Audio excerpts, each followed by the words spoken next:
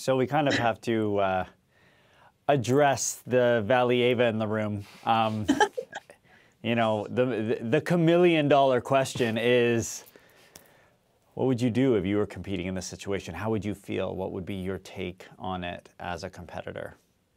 As a competitor in her situation or a competitor against her situation? Mm, both. Well, if I w- was her in this situation, I have no idea what she could have been thinking today. And she did have a couple little like oops and bobbles here and there. So it's hard to tell if her program today was just muscle memory from years from the year of training or was she really that focused and able to get the job done. But having to compete with so much going on around her and focused on her, I you know, I'm impressed to be honest. Um as for a competitor going against her, it's hard to think about what I would, how I could imagine it. Um, if I was a skater aiming for the podium, knowing that that might not be an option is is really tough, and knowing that like the people in your field might not be clean. Um, I know for me, like I was tested 13 times between September and the end of the Olympic Games in 2018. And to know like I was terrified on even every test and I didn't do anything. I was scared to even take pain medication when my back was really bad. Um, just to know like that might not be the case for other people in my competition. It it does sit odd. But yeah, there's still a lot more of the competition. Only three people make the podium anyways. Um, and everyone they have their own goals. So um, I guess in that in a situation like that, you just got to do your best and try not to think about it too much. Uh, we forget that um, you know all of these athletes have to go through doping, and and I remember, and I definitely wasn't doped as much as you, but I would think the same thing. I'm like.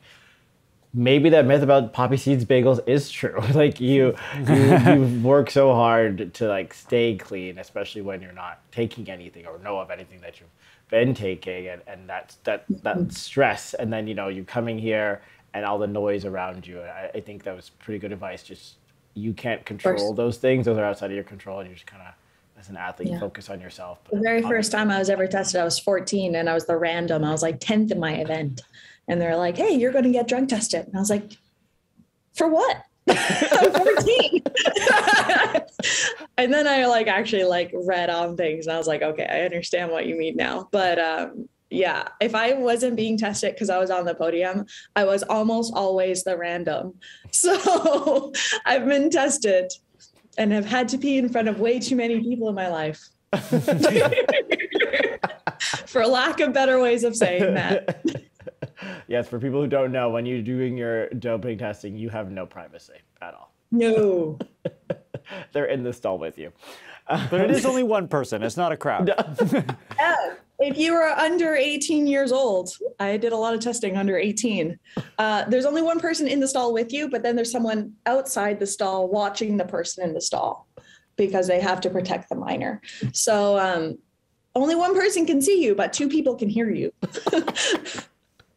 so, Kaetlyn, with this uh, doping scandal, what do you think this does to the integrity of the sport and, you know, eventually and young potential skaters watching this, um, will they want to you know enter a sport where potentially not skating clean doesn't have the ramifications that it should? It's I don't know what I honestly don't know what uh, this could do to younger athletes. I do know that it really does put a negative cloud over skating, an already political sport, and already um, opinionated sport. We have judges, so you got to know it's opinionated. To add this extra piece to the puzzle, it does make it harder to want to compete in in skating. You just lose a trust. And a lot of skating is trusting your team and trusting yourself, and then also trusting the system because you can only do your job. It's not like you're racing to beat a time. It's not like you're, that's really the only example I can think of. it's not like you're trying to push a time limit. You can only just do your job and then it's left up to everybody else.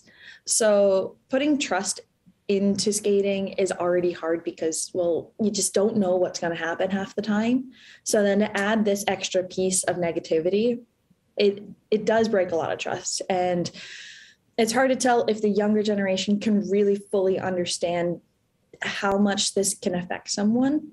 Um, but i know people probably amongst the older generation or um, just the parents wanting to put their kids in the sport also it could really have a damaging effect Hey guys, it's Asher and Dylan from That Figure Skating Show. And if you like this video, and don't lie, we know you did, there's actually more where that came from. So subscribe to CBC Sports and click it.